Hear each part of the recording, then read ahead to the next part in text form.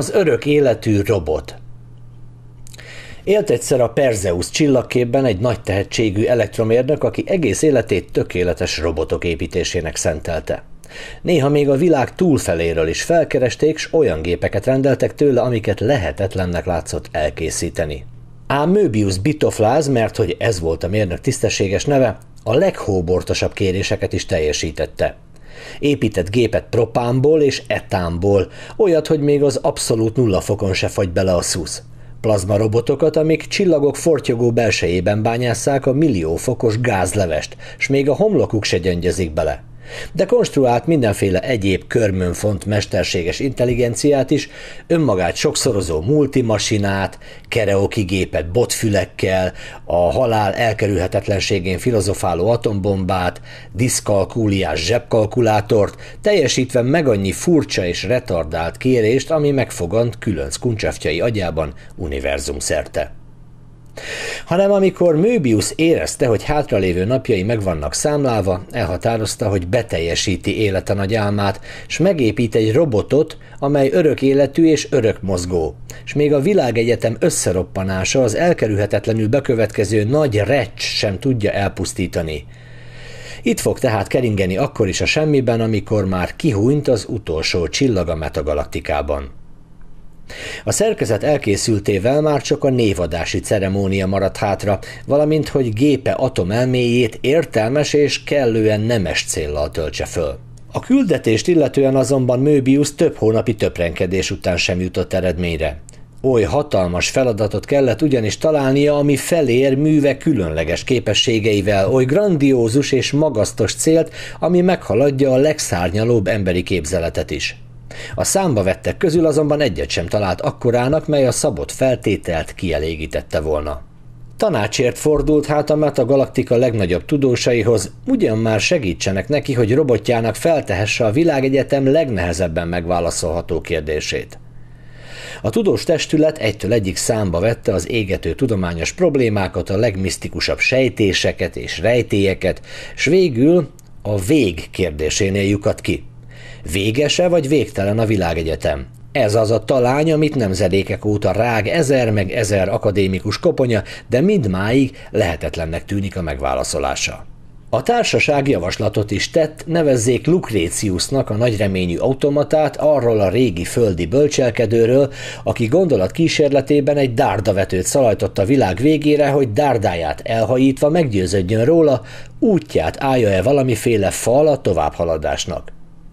Möbius elfogadta a javaslatot, és nyomban útnak indította Lucréciuszt, hogy derítse fel, véget ére valahol a világ. A mérnök nem sokkal később örök álomba szenderült, akik látták, azt mondják, mosoly volt az arcán, hiszen alig, hanem azzal a hittel tért át a más világra, hogy a világ legpazarabb emlékművét hagyja maga után. Ment a robot előre, mindig csak előre, lankadatlanul, energiája kifogyhatatlan volt. Jól megjegyezte a tejút galaxisát, ahonnan elindult, kiszámolta azt is, hogyan fog majd kinézni egy és tíz millió év múlva, hát ha csak oly sokára térhet vissza.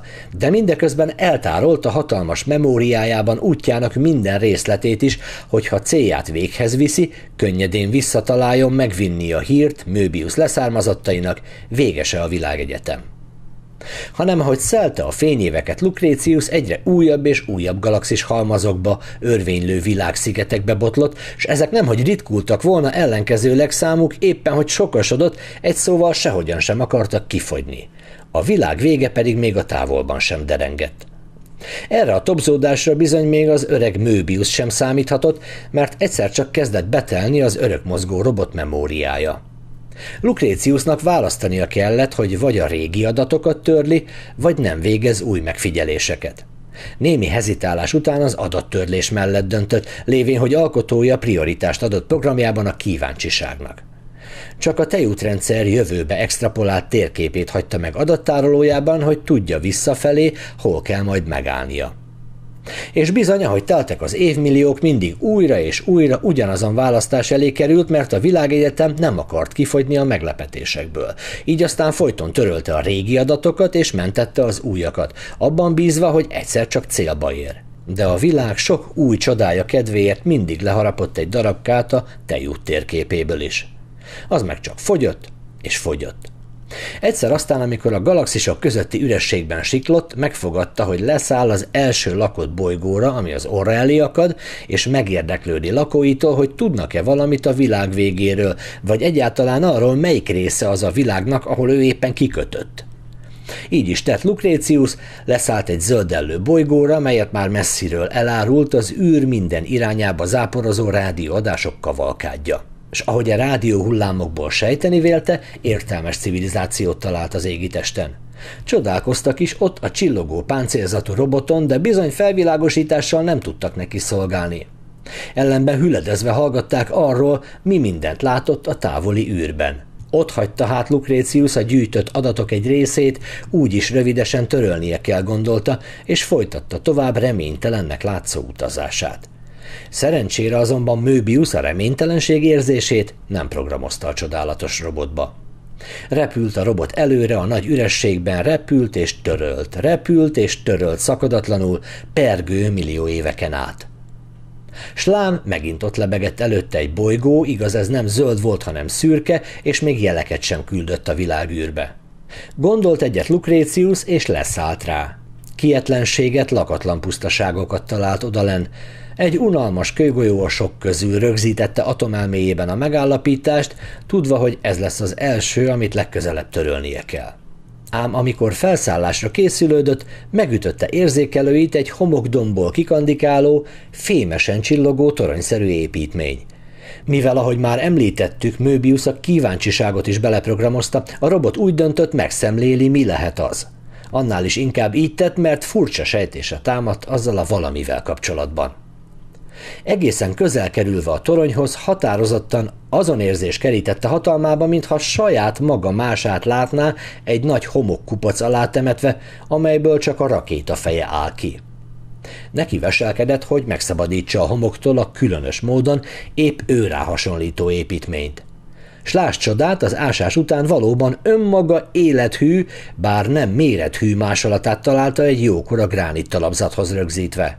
A szobor legalább a háromszorosa volt a saját nagyságának. Leült a robot a porba, és gondolkozni kezdett, hogy vajon miért állították neki az ismeretlenek ezt a kolosszális emlékművet.